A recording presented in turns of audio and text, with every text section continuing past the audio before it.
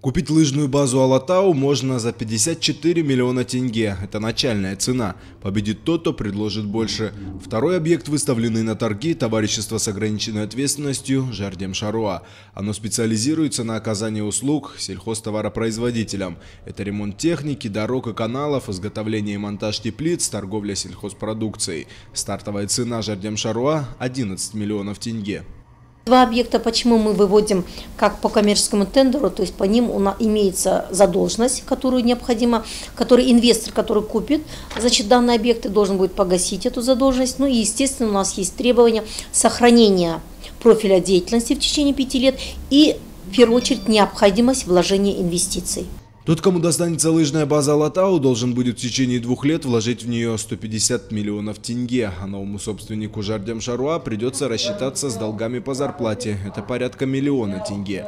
Еще 714 тысяч уйдет на обязательные бюджетные отчисления. При невыполнении требований в течение пяти лет постприватизационного периода будут применены штрафные санкции. То у Южтранс, специализирующийся на торгово-закупочной деятельности, можно приобрести без всяких обязательств, а потом хоть перепродать, хоть в той хану превратить. Стартовая цена товарищества порядка 6 миллионов тенге.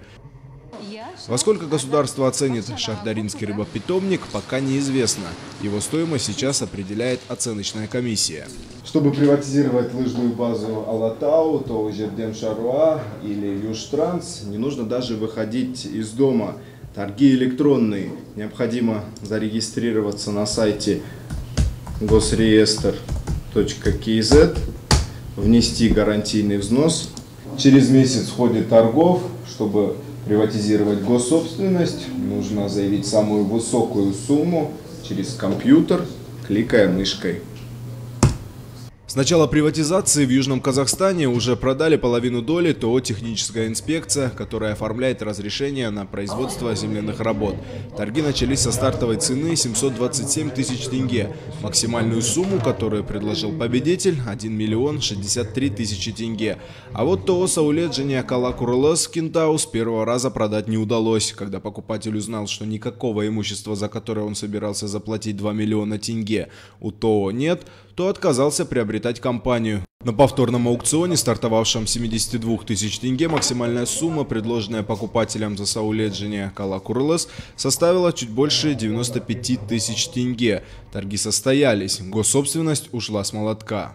До конца 2016 года в Южном Казахстане приватизируют 28 объектов коммунальной собственности. Среди них ЛТД Турмыс и Жасылкала, Ледовый дворец, футбольные клубы Ордабасы и Коран, два оздоровительных лагеря и еще 17 объектов, подлежащих приватизации в Южном Казахстане, находятся в ведении национальных холдингов и корпорациях. Еще два в республиканской собственности – это санаторий Арман и фармацевтическая академия. Академию передадут в доверительное управление с правом последующего выкупа до конца 2016 года.